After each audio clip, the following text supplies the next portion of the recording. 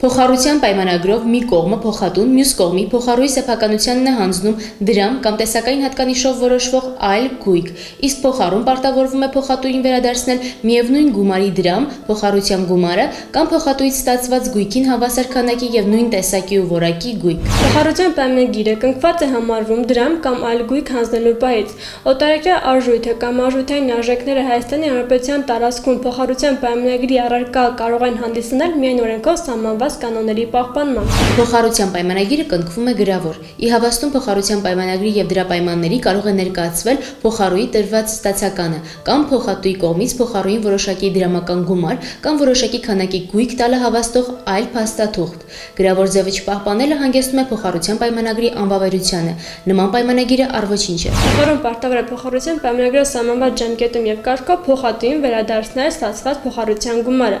Այն դեպքում եւ վերադարձման ժամկետը պայմանագրով սահմանված չէ կամ որոշված է ց պահանջ, փոխառության գումարը փոխառուն պարտավոր է վերադարձնել փոխատուի պահանջ ներկայացնելու օրվանի 30-օրյա ժամկետում, եթե այլ բան նախատեսված չէ պայմանագրով։ Անտոկոս տրամադրված փոխառության գումարը փոխառուն կարող է վերադարձնել վաղաժամկետ։ Տոկոսներով տրամադրված փոխառության գումարը կարող է վաղաժամկետ հետ վերադարձվել միայն փոխատուի համաձայնությամբ, եթե այլ բան նախատեսված չէ օրենքով կամ փոխառության պայմանագրով։ Փոխառության գումարը համարվում է վերադարձված այն փոխառուին հանձնելու կամ նրա բանկային հաշվին փոխանցելու պահից, եթե այլ բան նախատեսված չէ փոխառության պայմանագրով։